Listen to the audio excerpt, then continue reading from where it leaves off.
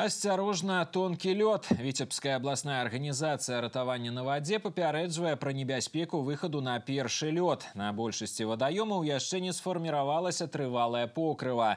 З-за вялікіх снегападаў лёд утвараецца не так хутка, таму візуальна вызначыць, наколькі ён бяспечны, немагчыма.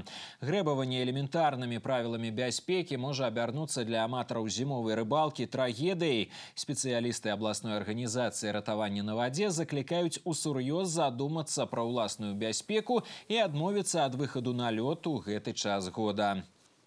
Толщина льда на водоемах Витебской области, она а, далека еще от безопасного, то есть 7 сантиметров э, толщины кристаллического льда. И особое внимание хотелось бы обратить на контроль над детьми, чтобы они в первую очередь не выходили на любой водоем замерзший, ну и не совершали какие-то игры э, на льду, ну и, собственно говоря, исключить катание э, на различных э, санках, тюбингах и ледяночках, которые имеют непосредственное примыкание к ледовому покрытию или к водоему, то есть где есть лед.